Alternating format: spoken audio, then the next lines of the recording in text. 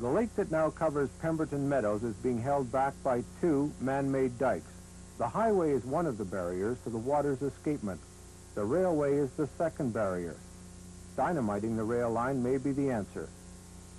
Uh, if the BC Rail had a bridge down here at the corner of the track years ago, uh, which would handle this whole flow. They took the bridge out and put culverts in. They were totally inadequate.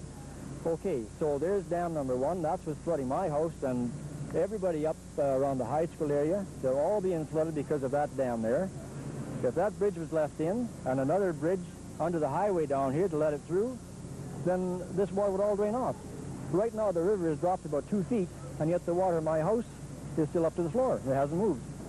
Some homeowners want to take matters into their own hands to save their homes after failing to get the attention of those in authority. Even uh, as late as yesterday afternoon, uh, several of us approached the people in charge and told them to to blow that up or dig it up and to uh, take out the highway and uh, get it moving, uh, but they bungled that one.